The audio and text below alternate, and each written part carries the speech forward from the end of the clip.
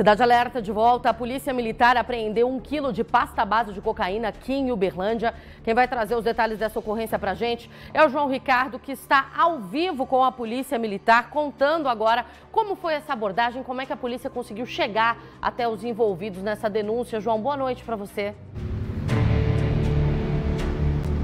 Isso mesmo, Luciana. Muito boa noite para você, para quem está junto com a gente nessa sexta-feira, nesta edição do Cidade Alerta. Ocorrência registrada agora há pouco aqui em Uberlândia, na BR-365.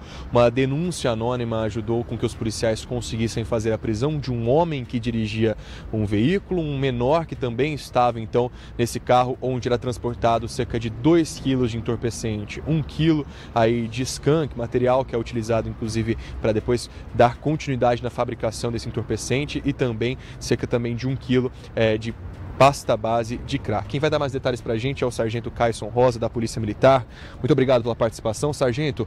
Tarde de muito trabalho, afinal, essa denúncia chegou para a polícia e foi feita uma mobilização, né?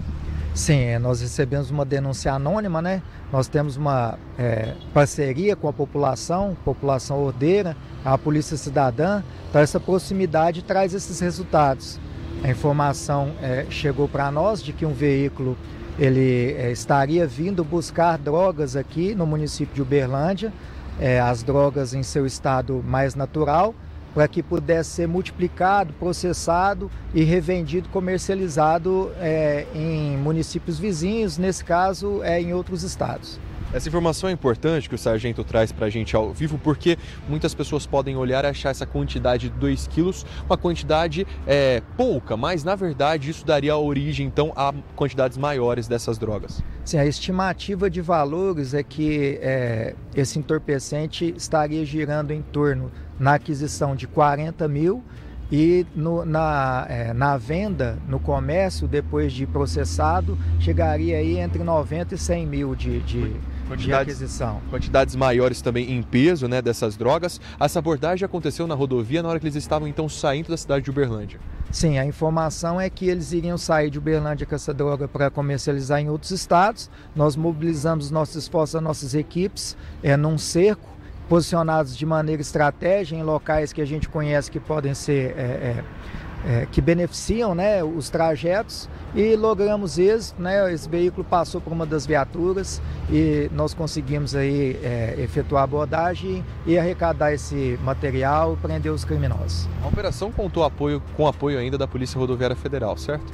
É, na realidade, é, esses indivíduos eles é, dispensaram essa droga né, no intuito de confundir a ação policial na, na beira da rodovia é, nós vimos, realizamos a abordagem. Nesse meio tempo, um dos caminhoneiros viu, parou na Polícia Federal, também prestou apoio é, é, denunciando. E os patrulheiros gentilmente é, se deslocaram lá no nosso apoio e também ajudaram nas buscas e arrecadação do material. Sargento Carson, o que acontece então com esses dois, é, essas duas pessoas? Um homem que já foi preso e havia também esse menor de idade. O que acontece a partir de agora?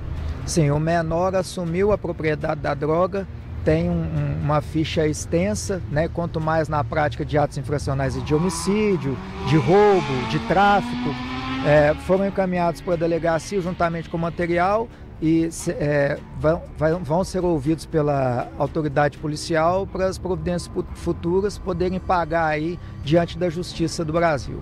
E aí é importante ressaltar né, a importância da denúncia. A gente começou a falando disso logo no começo da entrevista, mas são denúncias anônimas que ajudam é, a polícia nesse trabalho que é dia e noite no combate ao tráfico de drogas, né, Sargento?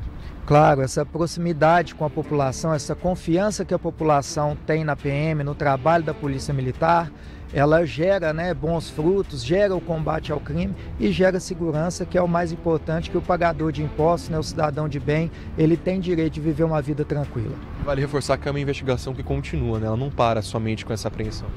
Sim, é, o combate ao tráfico ele nunca para, né? É um combate cíclico e a gente cada vez junta mais informações. É, às vezes a gente depara com um determinado braço e a gente sempre aglutina isso, né, para resultados maiores também.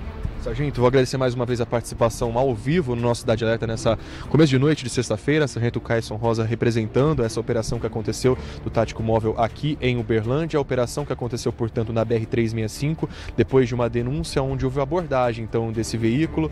Duas pessoas, né, uma pessoa apreendida, um menor de idade que já tem esse histórico, como o próprio sargento adiantou, e também um homem que foram presos. Então, eles estavam transportando quase 2 quilos de entorpecente, que depois gerariam mais materiais, estavam ali naquela consulta concentração.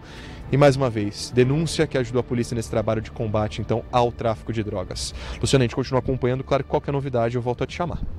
Muito obrigada, João. Parabéns ao trabalho da Polícia Militar. Esse combate ao tráfico, que, como a gente tem mostrado para você diariamente aqui no Cidade Alerta, é desenvolvido por todas as nossas forças de segurança. Em todo o Triângulo Mineiro e Alto Paranaíba, a Polícia Militar conta com a comunidade nesse trabalho de combate ao tráfico. Comunidade essa, os moradores que têm entendido a sua importância no combate à criminalidade, entendido que as denúncias são fundamentais e que o trabalho da Polícia Militar só será bem desenvolvido, terá um resultado positivo, será bem realizado a partir do momento que a comunidade entende também que faz parte desse sistema. Então, essas abordagens, essas operações são desenvolvidas, são deflagradas com o apoio dos moradores e o resultado sempre positivo, a comunidade agradece.